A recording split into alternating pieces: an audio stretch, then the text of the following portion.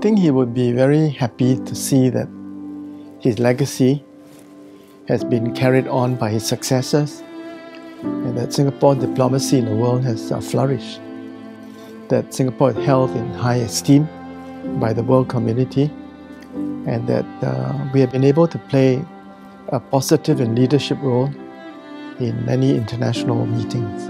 I think he would be very proud that the foreign policy that he crafted and helped define um, stood Singapore in, in such a good stead, you know. And Singapore today, uh, although a very small state, punches well above its weight.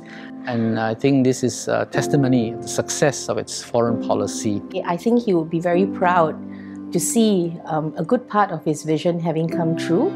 I think we are on our way to becoming a Singaporean Singapore. If he was alive today, he would still be somebody I respect immensely. He would be very pleased, happy, satisfied um, that we had done very well Singapore.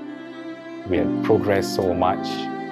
And I think he would uh, really be very pleased with our foreign policy.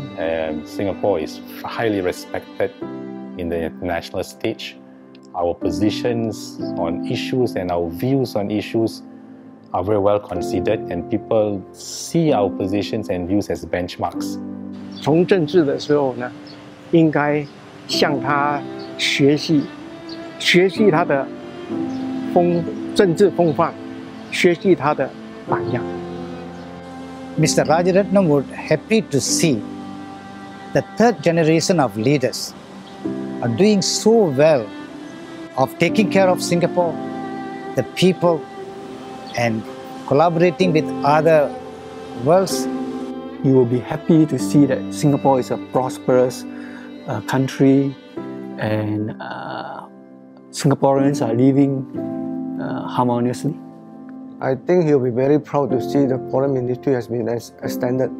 I think he will be very, very, very surprised to see that we progress so fast, so advanced in so many things, especially our international relationship.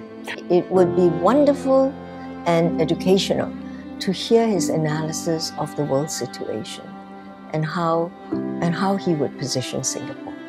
I think he would be able to help galvanize people together on his favorite subject and dream of a truly multiracial nation. He must be very happy to see Singapore is now gone up. People with better lives. The government is doing so many things for elderly people, so he must be very happy. He would be very pleased to see the trend of uh, more inter-ethnic marriages, as that would be a sign that the idea of a Singaporean Singapore is indeed taking root.